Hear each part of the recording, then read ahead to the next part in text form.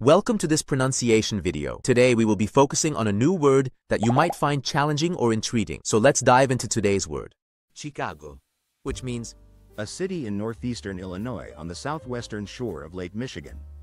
Let's say it all together. Chicago. Chicago. Chicago. One more time. Chicago. Chicago. Chicago. Thank you for joining us on this adventure in pronunciation. Remember, language is a journey, not a destination. Keep exploring, experimenting, and expanding your linguistic horizons. We'll see you next time.